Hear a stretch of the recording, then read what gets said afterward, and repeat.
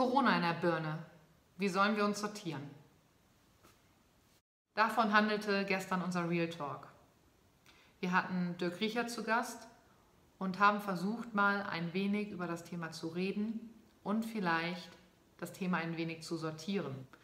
Das war ganz schön schwer und ist uns, glaube ich, auch nicht gelungen. Aber es gab viel Input und diesen möchte ich euch zusammenfassen.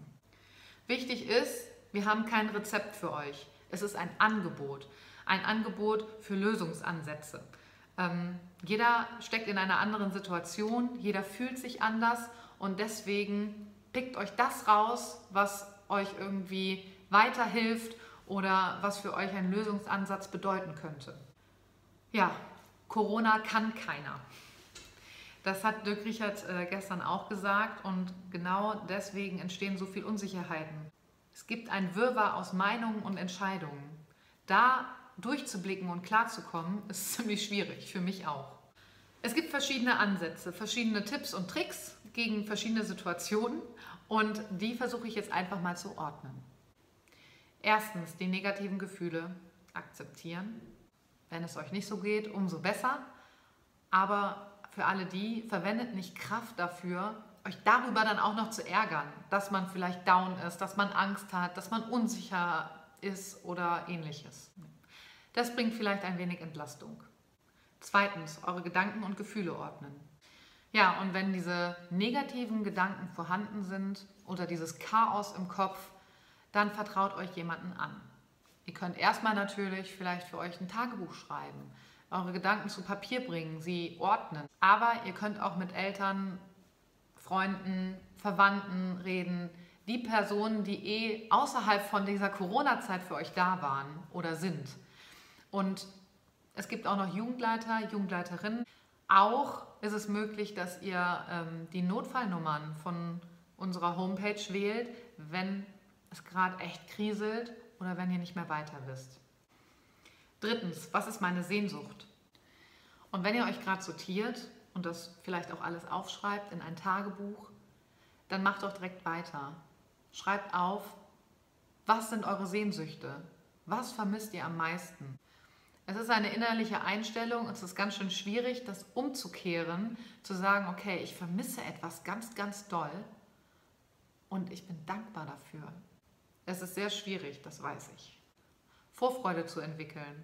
Denn wenn wir uns alle wiedersehen dürfen, dann wird es richtig schön. Viertens, die Sachen in Relation setzen. Hier kommt es darauf an, wie eure Situation gerade ist. Fragt euch, Gibt es etwas Schlimmeres gerade? Könnte es etwas Schlimmeres geben?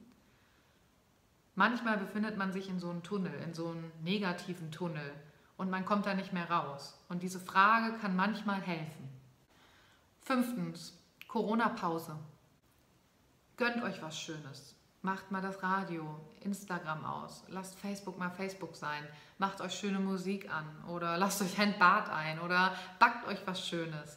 Und dann sagt ihr euren Mitmenschen Bescheid um euch herum, hey, ich möchte in den nächsten drei Stunden nichts, aber auch gar nichts von Corona hören. Sechstens, Quellen checken.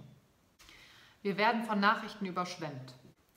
Checkt doch einfach mal eure Quellen. Teilt nicht alles, was ihr da seht.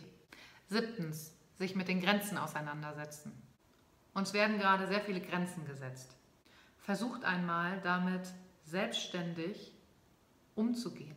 Natürlich sollt ihr auch eine Meinung entwickeln und euch Gedanken machen, boah, macht das überhaupt Sinn, was ich da alles machen muss? Ähm, und euch damit kritisch auseinandersetzen. Das ist natürlich die andere Geschichte. Aber innerhalb dieser Grenze zu schauen, was ist möglich und wie nutze ich die Zeit.